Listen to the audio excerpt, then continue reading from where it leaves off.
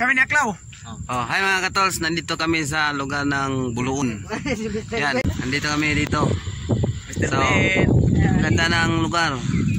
Overlooking. Yan. Aklaw. Alik wa.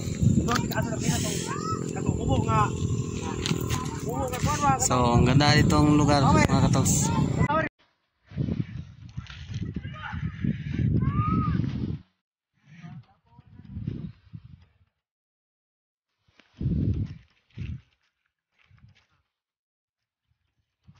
Yan, ito. Kasi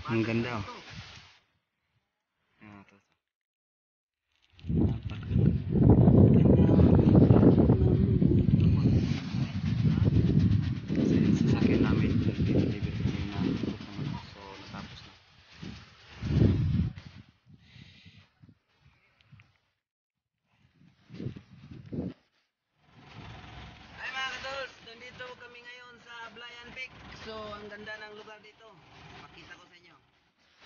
Oh, ang ganda ng tanawin. Ito yung lugar ng Ablayan Peak sa Buluon, Cebu. So ayan, napakanda, napakagandang lugar at magandang tanawin. Oh, sa mahilig mag ano diyan, mag travel vlog. Ang ganda dito. Picture picture kayo dito. Napakaganda. Ablayan Peak, Buluon, Cebu. Napakagandang lugar. Yung kalsada nasa ibabaw ng bundok. So ayan oh. So, so ayan mga katols, napakaganda dito. Pasyal kayo dito. Ablayan Peak, ang ganda. Goodbye.